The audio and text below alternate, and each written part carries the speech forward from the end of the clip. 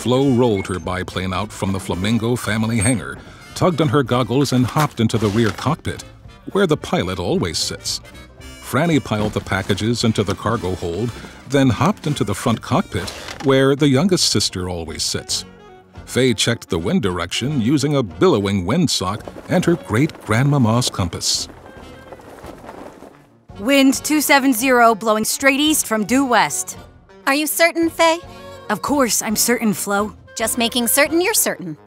Flo reminded her younger sisters that she was the pilot and that the pilot must double check everything the wind, the wings, the wheels, and of course, the wisdom of the crew. Indeed, Flo often quizzed her sisters, even though she knew very well that Faye was a first rate navigatrix and that Franny would become a first rate something.